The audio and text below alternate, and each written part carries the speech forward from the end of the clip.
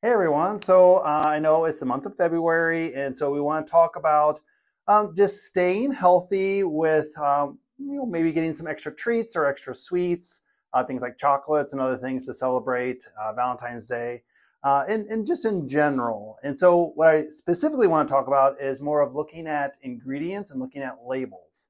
Uh, often we turn to the nutrition label and we look at you know things like how much fat or how many calories and of course, we can look at that, but mostly look at the ingredients. Look at what's actually in it. And look specifically, is it a few clean ingredients? Like if you're eating chocolates, is it like cocoa and maybe some sugar? Okay.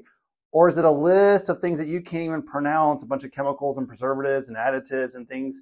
So if you look at a piece of chocolate and it's a paragraph, it's probably not what you want to be consuming. Uh, so First thing is when you're looking at something, just turn it over, look at the ingredients, look at can you actually read the ingredients or is it actually food or is it some sort of chemical?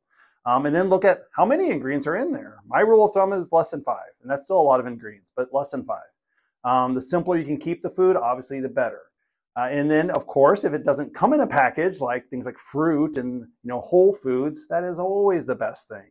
So just keep that in mind. Anytime you're looking at anything with a package, Anything that's processed in any way, even minimally processed, look at the ingredients and look to see if you recognize it. And if it's got a paragraph of things, just put that back on the shelf. All right. So hope that was helpful. If you have any questions about that or about other things that we can do to help improve our health, of course, always let us know when you're here at the office and we look to see you very soon.